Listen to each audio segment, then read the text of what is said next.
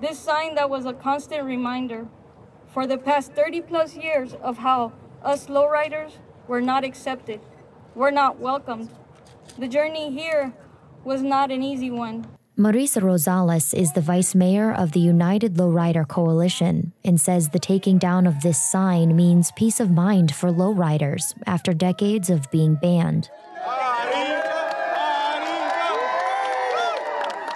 Trinity Garcia is a United Lowrider Coalition Youth Council member. I have been a part of the ULC with my mother, brother, Diaz, and Theo since day one. So I have witnessed the struggles, the letdowns, disappointments, the tears, the doors closing our face, the constant no's, always being knocked down numerous times, but us getting right back up on our feet to re strategize our next plan. Times have changed. While individual lowriders were always allowed to cruise, now large groups of lowriders known as caravans can legally cruise after getting a temporary use permit from the city.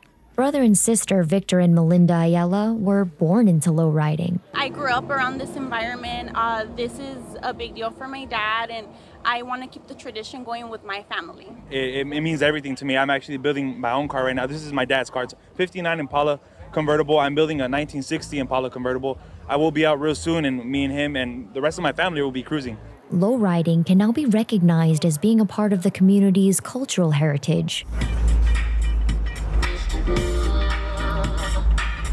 And celebrated as individual pieces of art. This is for you and the future generations of lowriders.